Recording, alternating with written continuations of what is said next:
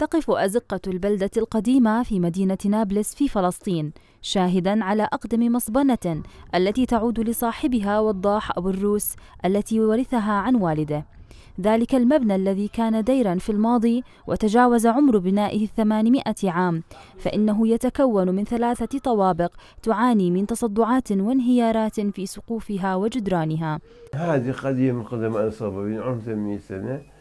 وهي يقال إنها كانت دير وفيها أثرات أبوي الله يرحمه ترك لي الصبانة وتوفى وبعديها بعد ما إحنا كبرنا إحنا مشينا مصلحة الصبانة. وأنا وأخي وأخي كنا نصدر للمؤسسة العسكرية للجيش الأردني ونصدر لإربد والزرقاء وعمان وبعثنا للكويت بعثنا للسعودية.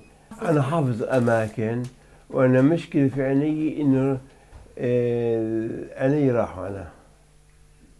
ابني الله يخلي لك صار يجي معي من المدرسة ويجي عندي. ربنا يسترزقنا أنا بس عم بقول يا الله ورزق على الله.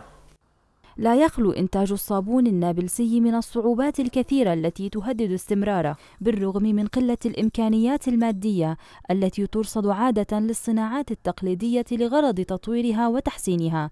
إلا أن ذلك لم يجعل وضاح أبو الروس بالرغم من فقدان بصره أن يستسلم أمام مهنته التي يحاول أن يعيل بها عائلته متوكلا على الله في السعي لرزقه بمساعدة ابنه الطالب الذي ما أن ينهي يومه الدراسي ليهرع لمساعدة والده في هذه الصناعة المتوارثة. اليهود اجروا سلاح عند جيران بدار النابلسي. فجروا البناية. من خلال البناية هذه لما فجروها طار السقف سامعتيني؟ طار الأزاز وطار الشبابيك كليتهم. هلأ السقف سقط بعديها.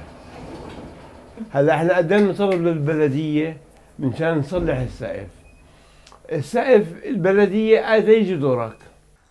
حاليا ينتظر وضاح البلدية بإعادة ترميم المبنى بعد تعرضه إلى الهدم الغير المقصود.